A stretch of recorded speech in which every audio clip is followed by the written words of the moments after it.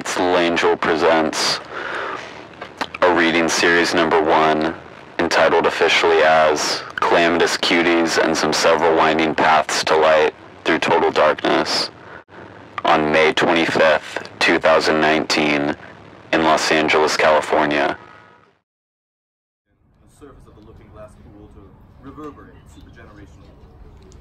like, like most of our modern societal knowledge, any expression is purely symptomatic. Leukocytes prioritize, when given ample space, activities to the left of bubbling skin and microbial holocaust.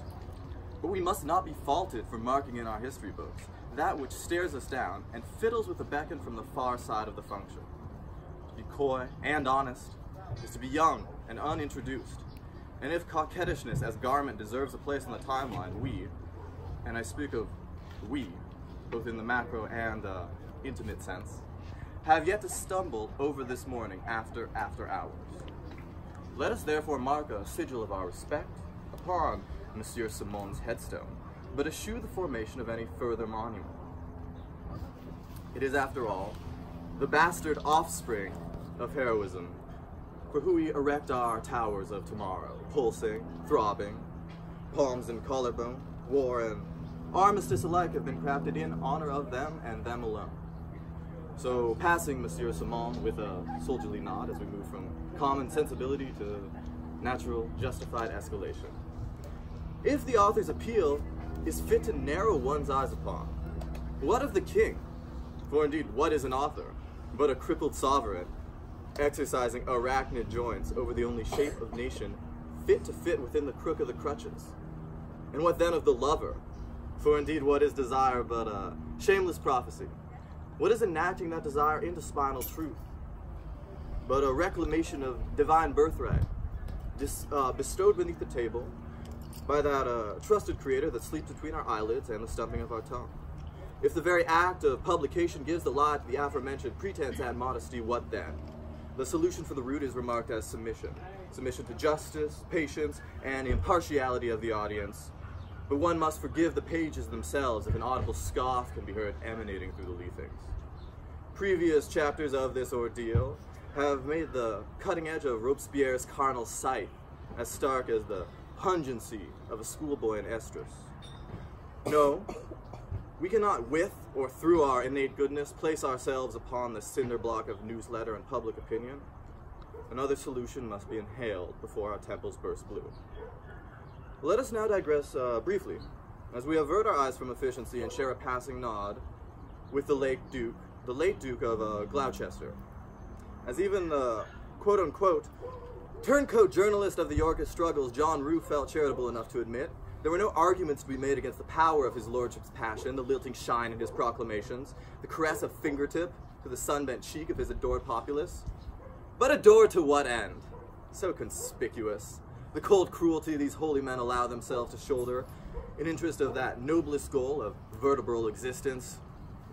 Second and vivid apparently only to the step prior, the tensing of the shoulder in each member of the firing party.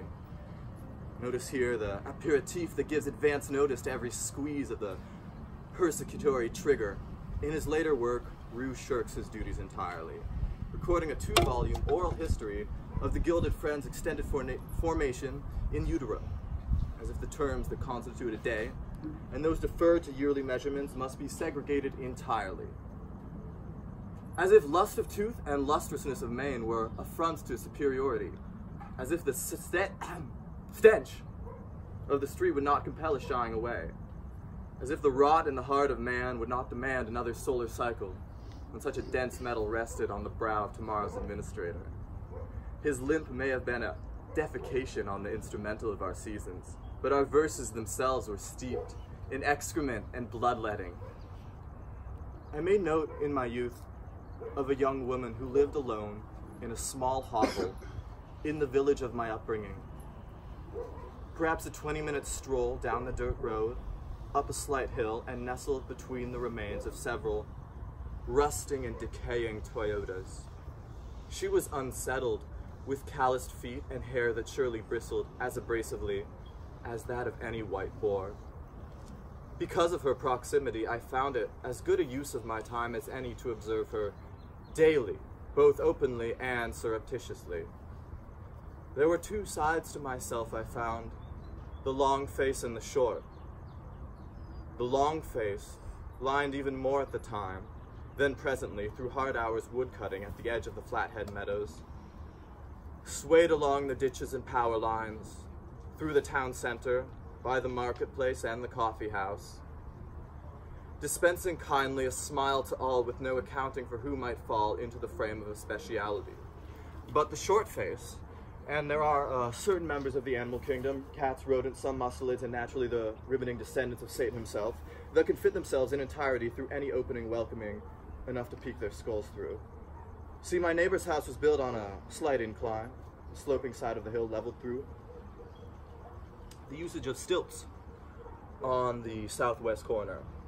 There, in the gap above sandstone and below cedar, a secondary vent for the internal heating system, a scalding pipe during the winter time, but an easy slip-in during the aestival months. One wonders as a child where the limits of control end for oneself and begin for the web surrounding. Inwards, and once, perched in the vantage of her highest cabinet, I saw a small black cat limp through the kitchen, hair long and matted.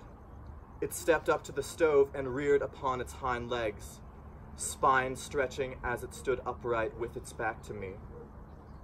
Like the shadows we form as we pass a streetlight on a lonely morning, the ink of its long left hand extended and reached for the dial for the oven, twisting it counterclockwise to its extreme. Without waiting for the broiler to prime, it placed its weight upon the level of the oven door, opening the cavity of the appliance just enough to lunge up and slide inside. The door closed behind its tail soundlessly. I stared from above for what felt like hours waiting for the temperature to rise before inevitably dropping to dreamland. Upon awakening, I was gone. Hmm. And the poem. Macavity's a mystery cat. He's called the Hidden Paw, for he's the master criminal who can defy the law. He's the bafflement of Scotland Yard, the flying squad's despair. For when they reach the scene of crime, Macavity's not there. Macavity, Macavity, there's no one like Macavity. He's broken every human law. He breaks the law of gravity. His powers of levitation would make a fakir stare. And when you reach the scene of crime, Macavity's not there. You may seek him in the basement, you may look up in the air. But I tell you once, and once again, Macavity's not there. Macavity's a ginger cat. He's very tall and thin. You would know him if you saw him, for his eyes are sunken in. His brow is deeply lined with thought. His head is highly domed. His coat is dusty from neglect. His whiskers are uncombed. He sways his head from side to side with movements like a snake. And when you think he's half asleep, he's always wide awake. Macavity, Macavity. There's no one like Macavity, for he's a fiend in feline shape, a monster of depravity. You may meet him in a by-street, you may see him in the square. But when a crime's discovered, then Macavity's not there. He's outwardly respectable. They say he cheats at cards. But his footprints are not found on any file of Scotland Yards. And when the lard is looted, or the jewel case is rifled, or when the milk is missing, or another Peke's been stifled, or the greenhouse glass is broken, and the trellis past repair, Hey, there's the wonder of the thing. Macavity's not there. And when the Foreign Office finds a treaty's gone astray, or the Admiralty loses some plans and drawings, by the way, there may be a scrap of paper in the hall or on the stair, but it's useless to investigate. Macavity's not there. And when the loss has been disclosed, the Secret Service say, it must have been Macavity, but he's a mile away. You'll be sure to find him resting or licking of his thumb, or engaged in doing complicated long division sums. Macavity, Macavity, there's no one like Macavity. There never was a cat of such deceitfulness and suavity. He always has an alibi and one or two to spare. At whatever time the deed took place, Macavity wasn't there. And I say that all the cats whose wicked deeds are widely known. I might mention Mungojerrie. I might mention Riddlebow are nothing more than agents for the cat who all the time just controls their operations. The Napoleon of crime. Thank you. Yeah. Poetic Supplement. When we look at the world through a lens of criticality, light from distant stars is distorted by a grimy layer of film, like Vaseline on your eyes, it seems impossible to wipe away clean.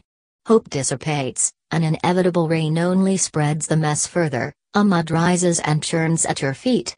We often confront this reality with a balking that precedes a desire to change, to go back to the way things were, whether this desire is then subsequently absorbed, repackaged, and redistributed via mechanisms, apparatuses, systems, etc., of political exploitation under the guise of real progress is a valid but largely abstract point of contention. My aim is ever so slightly adjacent, more specific. I want to see clearly. I want to feel better, finally. To wash this sickness away would be rebirth, a clear definition of my own body in the world once more. It is often stuck in this mode that artists communicate subliminally, cynically, urgently, that something is sick inside, a cultural aneurysm maybe, conflated by global incidents or economic variations, and that they are intrinsically part of the clotted vessel. This inescapable feeling is processed through the gut, fills the lungs, and is synthesized in the heart, until it can no longer stay in the body. Fleeting release, sublimity, catharsis is the result of this output, and even as we remain feeling stuck, blind, full of toxin, we hope to receive a message from real outside, to see our thoughts reflected. This is where capitalism and exploitation comes into play, but reactions from the outside can still be limiting, constraining, blocking, unfortunately processed and sold back at less than face value. Stop telling me the mud is good for me. The mud rises still despite our only efforts. Dot, dot, dot, disregarded and prognosed as pessimistic. I desire warmth, of a exuberant nature, please stop churning this mud, unfortunately, nothing is as easy as that. What I would say to that person, who in all caps, is screaming for warmth and clear sight, for a healthy stomach, for a clean body, for a sustained life of expression, to see the stars again is this you already know of those sublime sensations, and now you know there is more.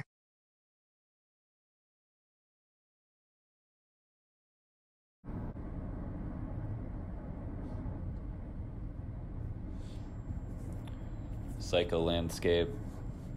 Every day I wake up in hell and stare out at the plains of red yellow grass, see cows and pigs without flesh, and some that are missing limbs.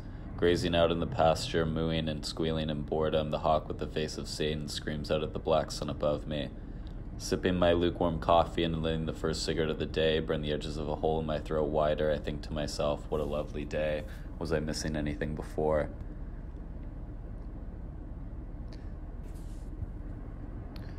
Lessons in semiotics and love. If I drew a swastika on my forehead and told you I had found God, would you finally be able to leave, or do my grand romantic gestures still mean nothing to you?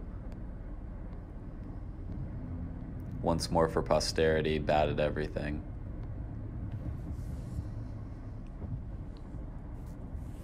Reality TV. Humility doesn't interest me much. If it were me, I'd say on national television to all my fans, to the people back home that I was the best simply because it interested me to be so, that it was merely something to do. It was the easiest thing in the world, quite honestly. I wouldn't thank God, I wouldn't thank anyone. I would stare directly into the camera and, with deadpan delivery, say it hardly mattered to me at all. That Academy Award, that beautiful home in Malibu, that write up in the New York Times, a failing institution. That all I wanted to do was die when I wrote, directed, and starred in that blockbuster that not much has changed, that humility is the most disgusting expression your face can contort to. I'm sorry, did I say that out loud? What was the question? I would like to thank God for everything. James Dean Memorial Junction. Incredibly underwhelmed by the roadside memorial. Small, humble, and not particularly beautiful. Horrific accident, best case scenario. Three more hours to Los Angeles, two more hours, one more hour. I drove past the James Dean Memorial and was incredibly underwhelmed. Yes, it was not what I expected. The more predatory, the better. Nothing good ever grows in my garden except some ultra horny thoughts. The desire to fuck everything in sight is becoming a problem. It's a strange garden with phallic spades and rubber flowers, rosewater spring, cherub rock well, virgin soil, all this porcelain. I sit there all day until I'm spent. None of my flowers grow, but none wither either. Plaid linen hanging on braided lines of hair. Eat, sleep, fuck, repeat, grow, grow, grow, grow.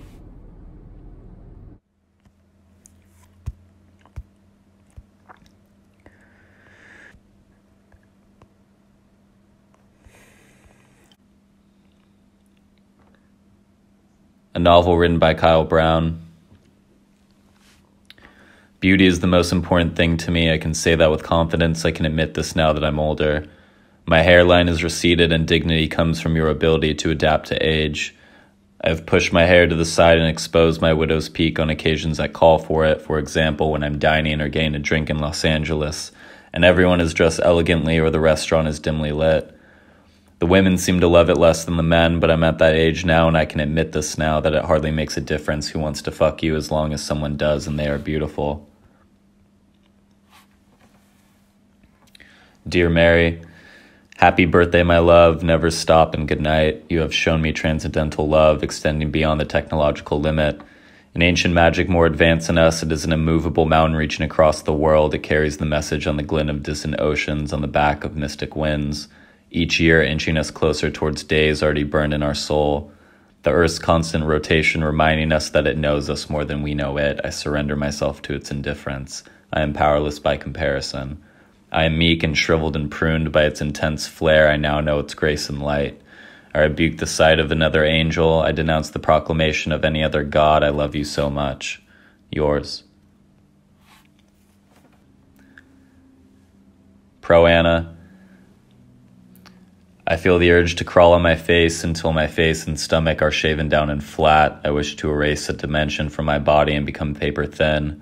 The lightness of this would carry me away towards the sea, and I would never be pulled down by gravity again. When my shape and flesh returns, I will touch you. Only time can make me whole. Untitled. I'll spend the rest of my life combing sunset for an evil mood I've grown so fond of until I see my reflection glued above in sickening repetition all the way down to the coast. What are you doing driving sunset? Pick a place, anywhere. What's your mood? Perverted. I'm the ash, I'm the curvature of the earth, I'm the Porsche 911 that drives past all the perpendicular death and chaos without stopping. Continuation of a Vincent Gallo interview. It's not that I want the Republican Party to become more like me, it's the opposite. I wish to become more like the Republican Party. And to interpret that as irony or a joke would only serve to diminish my work. It's not that I think these things are bad, I just believe that they're actually good. Junkie, bunky, runky. My polite junkie, who, because of the time difference, I normally get talking to around 1 or 2 a.m. Los Angeles time tells me she has an aversion to people singing for her to a person with elastic skin and a 40% chance of dying before she reaches 30 or something like that. It's hard to do anything else but sing to her. She tells me never to do it again, and I understand why, or at least I think I do. How was your day then? I'm so sick of repeating cycles, Kyle. Can we talk about something else, anything else? I'm sorry, I just that I thought it's just that I thought I find comfort in things like that pleasantries. No, you misunderstood. I love your pleasantries. I just don't want to tell you how sick I feel again. Does opium really kill your sex drive? Is what I really want to ask, but haven't yet.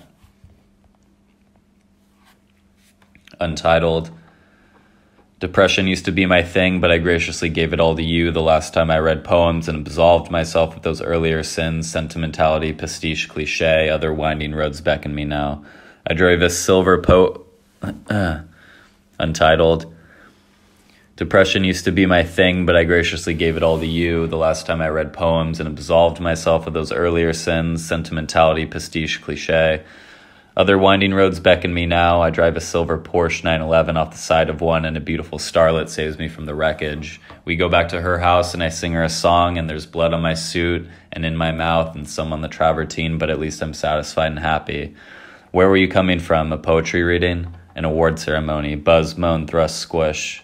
Repeated. Buzz, moan, thrust, squish. Thank you.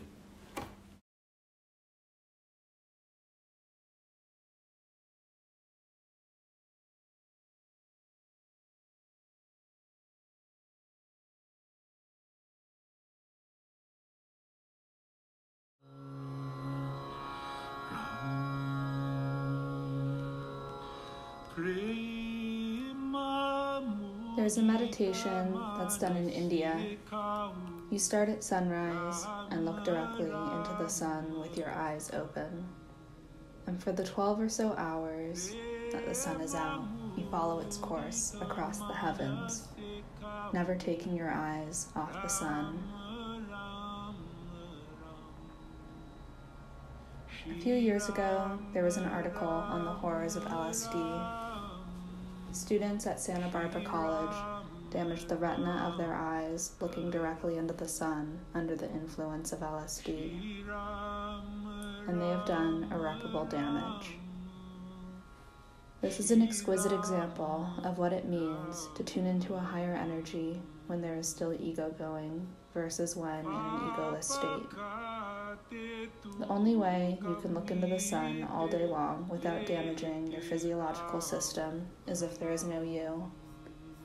If you are not looking at the sun, although your eyes are open and you're with the sun all the way across, and this is the secret of tuning into higher energy forces, the paradox of getting it all when there is no you to have it.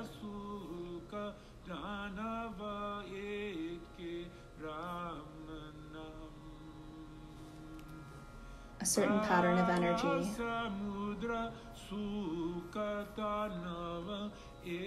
Energy. Certain pattern.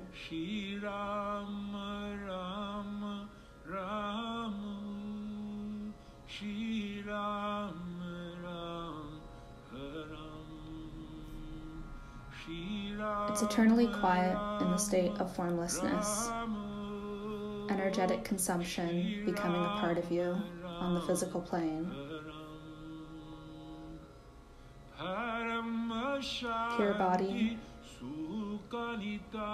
clean skin, skinphoria, calm waters, calm stomach, vibrating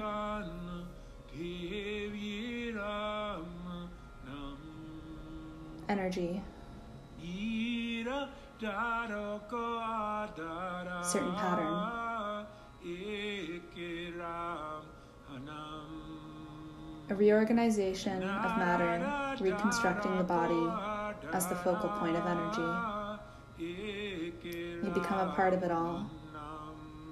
A splash. You become. You could be buttering toast you could be making love. It could be lifting a rock.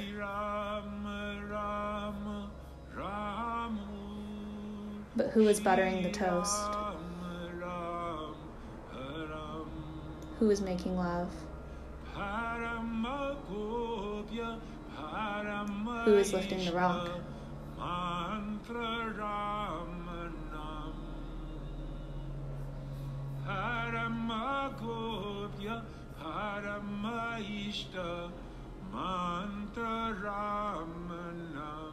Manage your emotions. Fulfill your potential. Prepare for metamorphosis. Protect your essence and optimize your mechanics.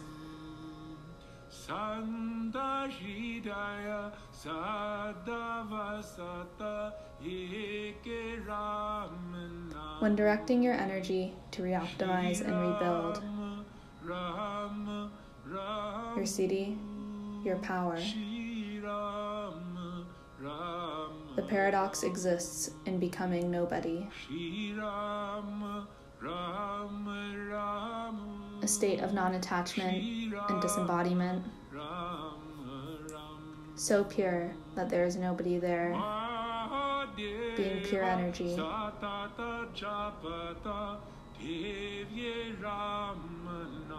What kind of energy is available to a human being, but only when they're not ego?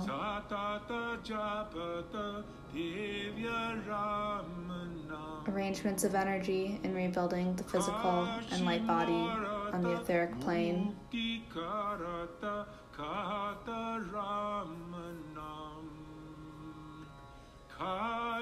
Energy, certain pattern.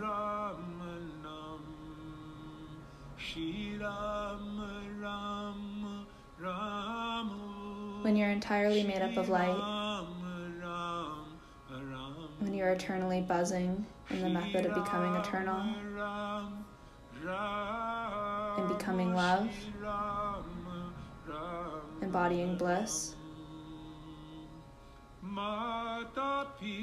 Becoming love and being nothing.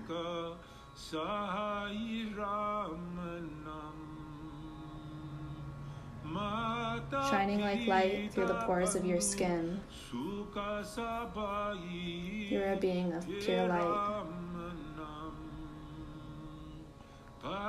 The transformation of bodies and cells in position of reorganizing matter according to will. Existence in a state of formless dissolve. To simultaneously be everything and nothing.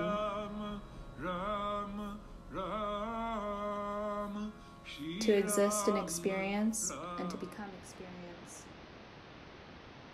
Dissolution of physicality into infinity, like liquid turning into liquid, turning into liquid, turning into liquid, turning into itself. Experience of the quantum body when there is nobody.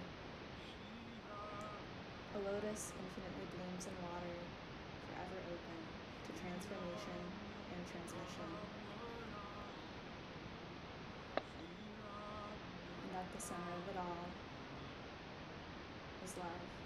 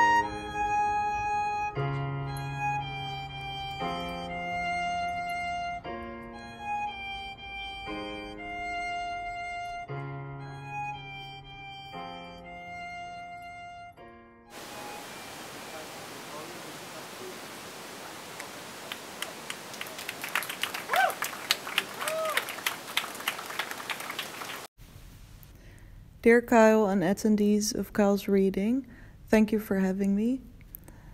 I'm writing to you from the city of sin to the city of angels, wondering if you've put up a picture of the Amsterdam canals. I only ever really notice how beautiful Amsterdam is in spring. It is spring here now, and I have to admit that yes, it is beautiful. Even though I live in the city of sin, and even though it is spring, and even though it is beautiful, my life has been mostly work and no play recently. I'm waitressing a lot to be able to pay my rent, and often feel like I'm simply sustaining myself. If I have to be a worker, I would at least like to love and play hard. But if there's one thing I like about being a waitress, it is how all of your movements become streamlined and almost like a choreography and how you can kind of act out a certain character, like the cool hot waitress. For instance, when I refill the drinks at the end of my shift, I kind of casually crouch in front of the fridge with my legs apart. Or I bend down on one knee after carrying up the heavy crates filled with soda bottles. I like carrying heavy things in front of people. And I enjoy making the specific movement I make when leaning forward to place empty soup bowls through a hole in the wall of the dining area to where the person doing dishes is located. I lean forward, my right arm reaching through the opening, while I rest my other hand against the wall to keep balance. And then, after I've put down the bowl, I push back against the wall and propel my body into the other direction, bouncing back and making a sort of half turn. It is a very fluid movement that is perhaps hard to visualize. Mostly it's rather mentally straining to work in service, of course. A while ago, I read this socialist pamphlet arguing for the abolition of restaurants. The thing about restaurants that sets them apart from other profit oriented enterprises, like supermarkets or clothing shops, is that restaurants are structured around a sort of immediate need that can heavily fluctuate. One person comes into the restaurant, food will be made from scratch for the one person coming in. A group of 10 people comes into the restaurant, food will be made from scratch for these 10 people. With restaurants, there's a higher level of unpredictability than with shops that have their goods lined up and ready at the start of the day. It is funny because people that come into a restaurant are very likely to as soon as they enter, behave like children or display some sort of entitlement, which is maybe just the way hungry people behave, but perhaps also stems from a sense of dependency that being served or making use of a service implies. Apparently, the restaurant as it is, with waiters and menu options, did not exist until the end of the 18th century. The first one was opened by a soup cook entitled A Restaurant in reference to bone broths or bouillons and other so called restorative foods that were considered capable of restoring one's health. The name taken from the French restaurer, meaning to restore or refresh. Back then, the relationship of dependency between the server and the person being served seemed to be emphasized. The person being served was a person in need of restoration now that dependency on services has increased, it has become more interwoven with our day to day. Yet, this dependency is also heavily obscured to keep up a neoliberal ideal of individual responsibility and strength. I like the bygone notion of restoring, and I like being strong for people. I like being strong for my girlfriend and wanted to cycle to her home to bring her oranges when she was sick. Here's some poems I've been working on about being strong, about being weak, about wanting to restore. And the first one is titled Noodle Dungeon. Arranging the freshly cut flowers in used Coca Cola bottles is everyone's favorite task at the noodle dungeon. My friend at the Poetry Center tells me I finally have something to write about now that I'm a sad waitress. My friend dreamed of a tall brick building that rose up straight from the sea. I tie my apron together in a sad bow. I cut thin strips of seaweed. I cut thin strips that break. I kill mosquitoes by slapping myself in the face. I'm bouncing off of everything. I listen to the concept by Teenage Fanclub over and over. I wear denim wherever I go. I'm gonna get some records by the status quo. I won't be forced against my will. I don't do drugs, but I do the pill. I like your hair because it's down your back. I like the group because they pull in the slack. When I'm at the gig, I take my car and I drive us home if there isn't a bar. You didn't want to hurt me.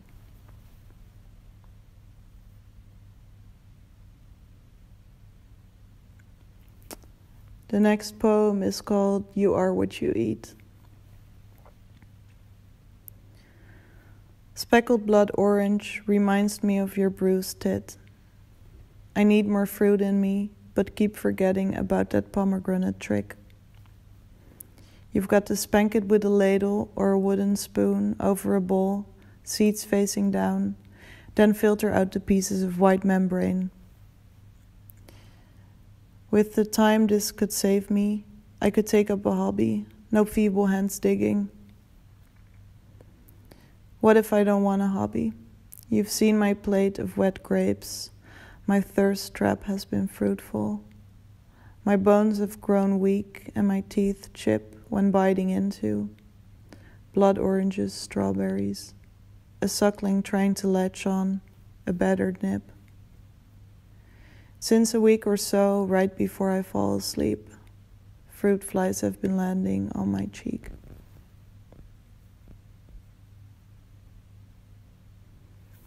This one's called The Star. Ripples on the pond, concentric, while on bended knee, genuflecting, she pours into the ground five streams from a clay pitcher. Water warms cold feet. A yellow star dominates the scene. The sun never could. The star, it might have left you broke and in debt, she pours into the ground.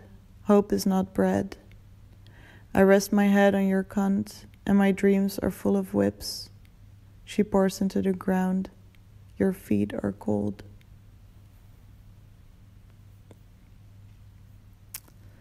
Um, this poem is called The Unicorn in Captivity, um, named after the, the, the tapestries at the Met Cloisters in New York. Or, like, yeah, the poem is about those tapestries. You can tell the unicorn is in captivity because it's surrounded by a wooden fence and also it's chained to a tree and it's bleeding. Analogy for Christ or the tamed lover. It is sort of smiling very faintly while blood trickles from a wound on its lower neck. Its tail curling upward, smoke like, and its eyes directed at something above. I wouldn't say hopeful, but tamed. It has accepted its fate. As horror vacui lays out flat flowers, there it rests, wounded and chained. The injured loser may not survive. The last poem is called Shower Poem. The fresh bar of olive oil soap could be mistaken for a chunk of Parmigiano.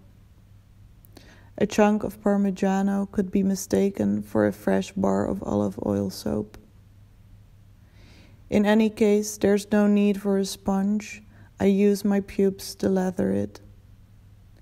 Its sharp edges trace my pelvic bone. A sliver will be all that's left in a month or so.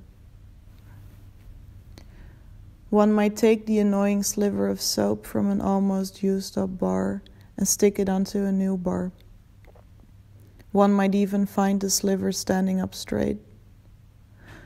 Well, I won't. I'm a shower frog. My butt rests on the drain, which leaves polka dot imprints. This is where I do most of my thinking, and this is where I come immediately clean. Uh, thank you so much. I hope you all have a lovely day. See ya.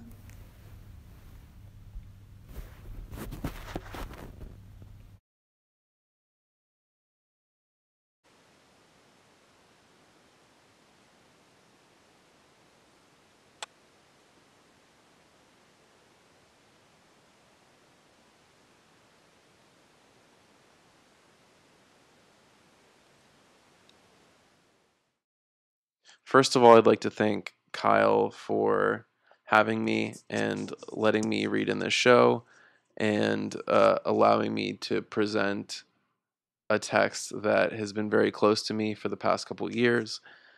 Um, when Kyle presented the ideas for this show, I immediately thought of Celine and immediately thought of Journey to the End of the Night.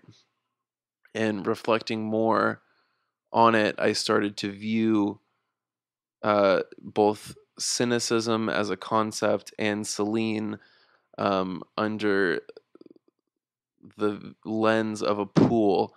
Uh, the idea that cynicism, if left unchecked, um, can garner this negative reputation that it does uh, because it can pool up and stagnate and result in anger or violence. But one thing that Celine does so masterfully uh, throughout, frankly, all of his work is uh, building things up and and creating this massive amount of energy through a cynical worldview um, and a cynical lens, and then towards the end of the point, the the release valve almost will be uh, engaged, and that cynical worldview is juxtaposed with some of the most beautiful prose uh, of the, the 20th century.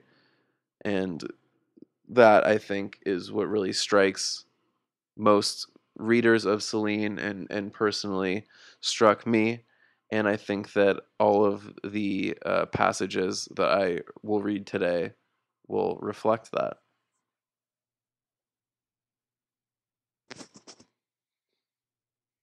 Misery was everywhere. In spite of the luxurious hall, it was on us. On the set, it overflowed. It drenched the whole earth.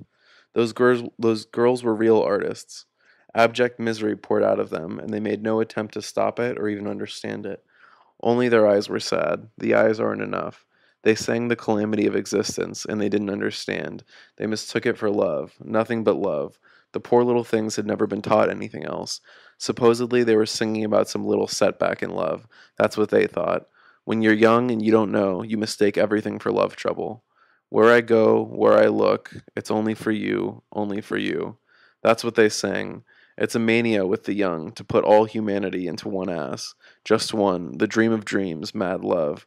Maybe later they would find out where all that ended, when their rosiness had fled, when the no nonsense misery of their lousy country had engulfed them, all sixteen of them, with their hefty mare's thighs and their bobbing tits. The truth is that misery already had the darlings by the neck, by the waist, they couldn't escape by the belly, by the breath, by every chord of their thin, off key voices. Misery was inside them. No costumes, no spangles, no lights. No smile could fool her, delude her about her own misery.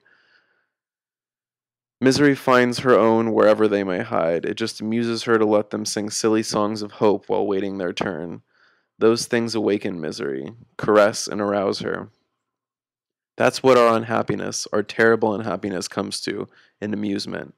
So to hell with people who sing love songs. Love itself is misery and nothing else. Misery lying out of our mouths, the bitch, and nothing else. She's everywhere, don't wake her. Not even in pretense, she never pretends. And yet those English girls went through their routine three times a day. With their backdrop and accordion tunes, it was bound to end badly. I didn't interfere, but don't worry, I saw catastrophe coming. First, one of the girls fell sick. Death to cuties who stir up calamity. Let him croak and we'll all be better off. And while we're at it, don't hang around street corners near accordion players. As often as not, that's where you'll catch it, where the truth will strike. I want to go back to France, I said.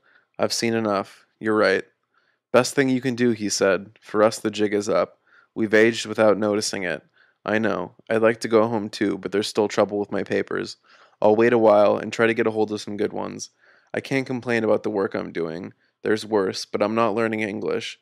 Some of the guys have been at it for 30 years, and all they've learned is exit because it's written on the doors they polish, and lavatory. You get the drift. I got the drift. If Molly should ever fail me, I'd have to go into night work myself. No reason why that should ever stop. The fact is that when you're at war, you say peace will be better. You bite into that hope as if it were a chocolate bar, but it's only shit after all. You don't dare to say so at first for fear of making people mad. You try to be nice. When you're good and sick of wallowing in muck, you speak up. Then everybody thinks you were raised in a barn, and there you have it. I met Robinson two or three times after that. He wasn't looking well at all. A French deserter who made bootleg liquor for the gangsters of Detroit let him occupy a corner of his shop. The business tempted Robinson. I'd make a little rot gut for those bastards to pour down their throats, he confided, but you know I've lost my nerve. The first going over a cop gave me, I know I'd fold up. I've been through too much. Besides, I'm sleepy all the time. Not to mention the dust in those offices, my lungs are full of it. See what I mean? It wears you down. We arranged to meet another night. I went back to Molly and told her the whole story. She tried not to show how bad it made her feel, but it wasn't hard to see she was miserable. I kissed her more often now, but her unhappiness was deep and more real than in other people, because most of us tend to talk as if we're afraid to understand, to admit it. It's rather humiliating, but this is real unhappiness. Not pride, not jealousy. There are no scenes, it's genuine heartbreak. We may as well admit that we haven't got it in us, and that when it comes to pleasure, when it comes to the pleasure of being really unhappy, we're bone dry. We're ashamed of not being richer in the heart and everything else, and also of having judged humanity worse than it really is. Now and then Molly would let go and say something mildly reproachful, but it was always said gently and kindly. You're so sweet, Ferdinand, she'd say. I know you try hard to not be as beastly as other people, but sometimes I wonder if you really know what you want. Think it over. You'll have to find a way of earning your living when you get back there. Ferdinand, you won't be able to roam around all night dreaming the way you do here, the way you enjoy so much, while I'm working. Have you ever thought of that, Ferdinand? In a way, she was dead right, but I couldn't help being the way I was. I was afraid of hurting her. She was so easy to hurt. Believe me, Molly, I love you. I always will, as best I can in my own way. My own way didn't amount to much, and yet Molly had a weakness for for phantoms. Maybe I wasn't entirely to blame. Life forces you to spend too much of your time with phantoms. You're very affectionate, Ferdinand, she reassured me. Don't worry about me. You've got this sickness, always wanting to know more and more. That's all. Anyways, you've got to live your own life. Out there, all alone. You'll go further traveling alone. Will you be leaving soon? Yes, I'll finish medical school in France, and then I'll come back. I had the gall to reassure her. No, Ferdinand, you won't be back, and I won't be here either. She was nobody's fool.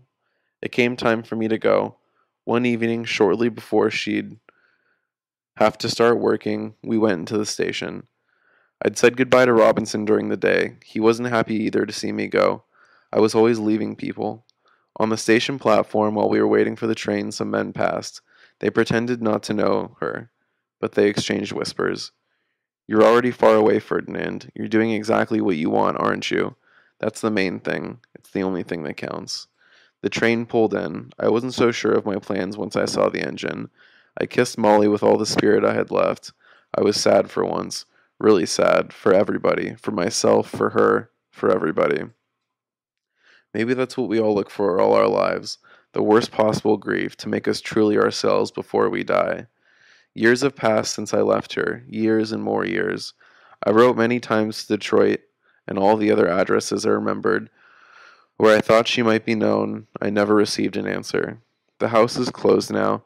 That's all I've been able to find out.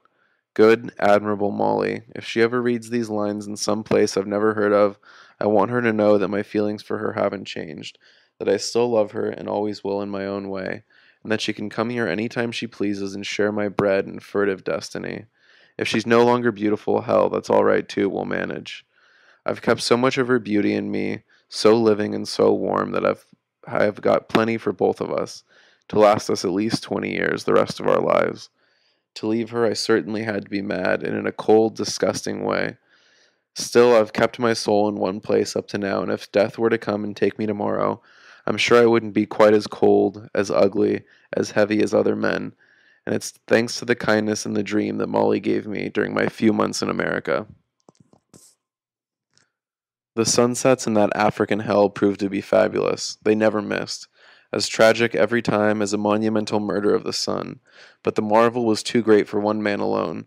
For a whole hour the sky paraded in great delirious spurts of scarlet from end to end. After that, the green of the trees exploded and rose up in quivering trails to meet the first stars. Then the whole horizon turned gray again, and then red, but this time a tired red that didn't last long. That was the end. All the colors fell back down on the forest in tatters, like streamers after the hundredth performance. It happened every day at exactly six o'clock.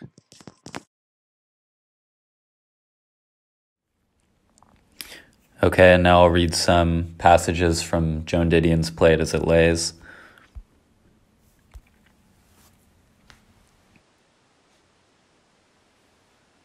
Why should a coral snake need two glands of neurotoxic poison to survive while a king snake, so similarly marked, needs none? Where's the Darwinian logic there? You might ask that. I never would. Not anymore. I recall an incident reported not long ago in the Los Angeles Herald Examiner. Two honeymooners, natives of Detroit, found dead in their scout camper near Boca Raton. A coral snake still coiled in the thermal blanket. Why? Unless you're prepared to take the long view, there is no satisfactory answer to such questions. Just so I am what I am.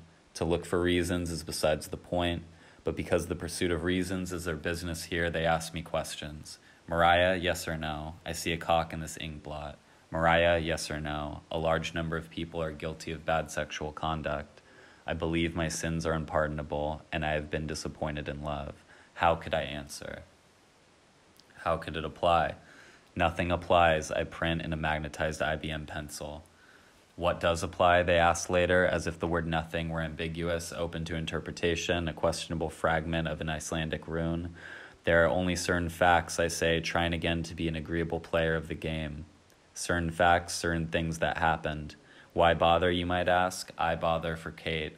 Uh, what I play here is for Kate.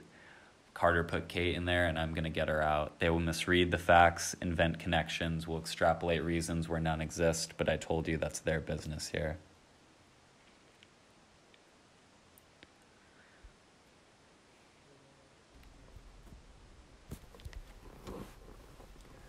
By then, she was sleeping not in the house, but out by the pool on a faded rattan chaise left by a former tenant. There was a jack for a telephone there, and she used beach towels for blankets. The beach towels had a special point because she had an uneasy sense that sleeping outside on a rattan chaise could be construed as the first step towards something unnameable. She did not know what it was she feared, but it had to do with empty sardine cans in the sink, vermouth bottles in the wastebaskets, slovenliness past the point of return. She told herself that she was sleeping outside just until it was too cold to sleep beneath beach towels, just until the heat broke, just until the fires stopped burning in the mountains, sleeping outside only because the bedrooms in the house were hot, airless, only because the palms scraped against the screens and there was no one to wake her up in the mornings. The beach towels signified how temporary the arrangement was. Outside, she did not have to be afraid that she would not wake up. Outside, she could sleep. Sleep was essential if she was to be on the freeway by 10 o'clock. Sometimes the freeway ran out in a scrap metal yard in San Pedro, or on the main street of Palmdale, or out somewhere no place at all. Sometimes the freeway ran out in a scrap metal yard in San Pedro, or on the main street of Palmdale, or out somewhere no place at all where the flawless burning concrete just stopped, turned into common road, abandoned construction sheds rustling besides it. Sometimes the freeway ran out in a Sometimes the freeway ran out in a scrap metal yard in San Pedro or on the main street of Palmdale or somewhere no place at all where the flawless burning concrete just stopped, turned into common road, abandoned construction sheds rustling besides it. When that happened, she would keep in careful control, portage skillfully back, feel for the first time the heavy weight of the becalmed car beneath her, and try to keep her eyes on the main stream, the great pilings, the cyclone fencing, the deadly oleander, the luminous signs, the organism which absorbed all her reflexes, all her attention.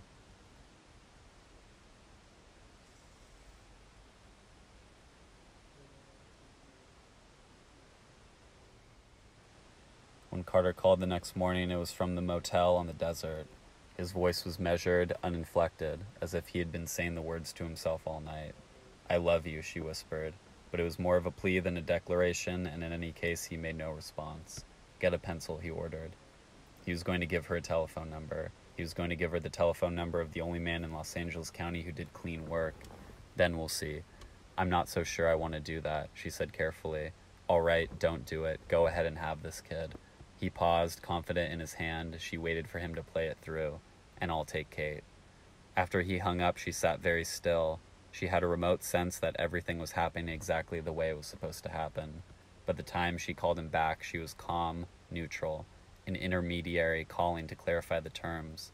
Listen, she said, if I do this, then you promise I can have Kate? You promise there won't be any trouble later? I won't promise anything, he said. I said, we'll see.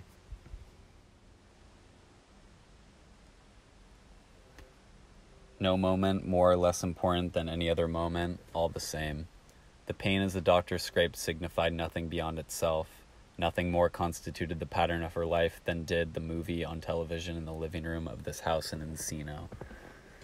The man in the white duck pants was sitting out there watching the movie, and she was lying in here not watching the movie, and that was all there was to that. Why the volume on the set was turned up so high seemed another question better left unasked. Hear that scraping, Maria? The doctor said. That should be the sound of music to you. Don't scream, Maria. There are people next door. Almost done, almost over. Better get it all out now than do it again in a month from now. I said don't make any noise, Maria. Now I'll tell you what's going to happen. You'll bleed a day or so, not heavily, just spotting. Then a month, six weeks from now, you'll have a normal period. Not this month. This month you just had it. It's in that pail.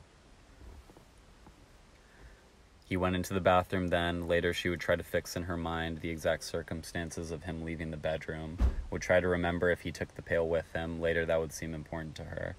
And by the time he came back, the contractions had stopped. He gave her one envelope of tetracycline capsules and another of ergot tablets, and by six o'clock on that hot October afternoon, she was out of the bedroom in Encino and back in the car with the man in the white duck pants. The late sun seemed warm and benevolent on her skin, and everything she saw looked beautiful, the summer pulse of life itself made manifest. As she backed out of the driveway, she smiled radiantly at her companion. You missed a pretty fair movie, he said. Paula Raymond. He reached into his pocket for what seemed to be a cigarette holder. Ever since I gave up smoking, I carry these by the dozen. They look like regular holders, but all you get is air. Maria stared at his outstretched hand. Take it. I noticed you're still smoking. You'll thank me someday. Thank you. I'm a regular missionary.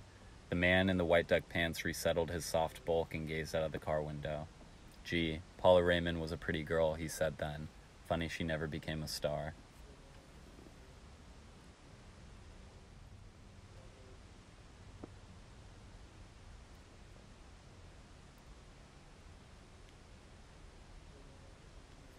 You're lying in water, the hypnotist said. You're lying in water and it's warm and you hear your mother's voice. No, Maria said, I don't. The hypnotist stood up. He always seemed cold and he was always sipping Pernod and Pernod. water and his house was dusty and cluttered in torn newspaper clippings and stained file folders. What do you hear? He said finally. What do you hear and see in your mind right now? What are you doing?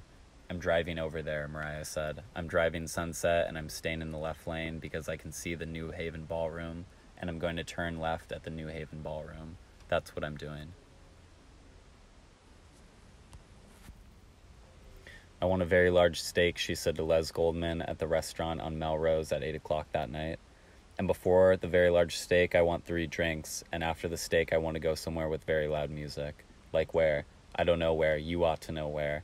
You know a lot of places with loud music. What's the matter with you? I'm just very, very, very tired of listening to you all.